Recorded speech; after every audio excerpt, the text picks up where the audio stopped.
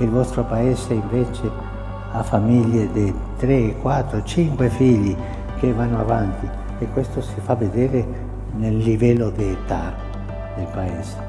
Continuate così, è un esempio per tutti, tutti i paesi.